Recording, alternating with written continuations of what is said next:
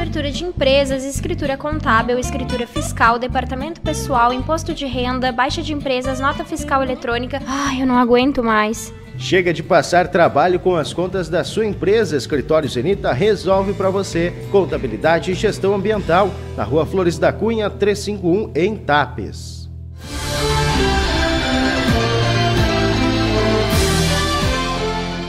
Uma joalheria localizada na Avenida Visconde de Rio Grande, no centro de Barra do Ribeiro, foi assaltada no início da tarde da segunda-feira, 9 de outubro. Conforme informações, a Brigada Militar, ao se deslocar para o local, avistou um veículo Fiat Palio de cor vermelha usado pelos criminosos seguindo em direção à estrada do Caburé, interior do município.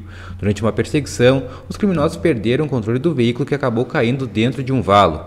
Durante uma troca de tiro com os policiais, um dos criminosos foi baleado e morreu no local. Outros dois indivíduos que ficaram feridos foram presos em flagrante e outros dois indivíduos conseguiram fugir. Na ação, os policiais militares apreenderam uma arma de fogo calibre 12, duas pistolas, 117 munições, cinco coletes à prova de balas, toucas ninjas e dois rádios comunicadores na frequência da Brigada Militar, além do veículo Fiat Palio com placas clonadas que havia sido roubado no município de Caxias do Sul.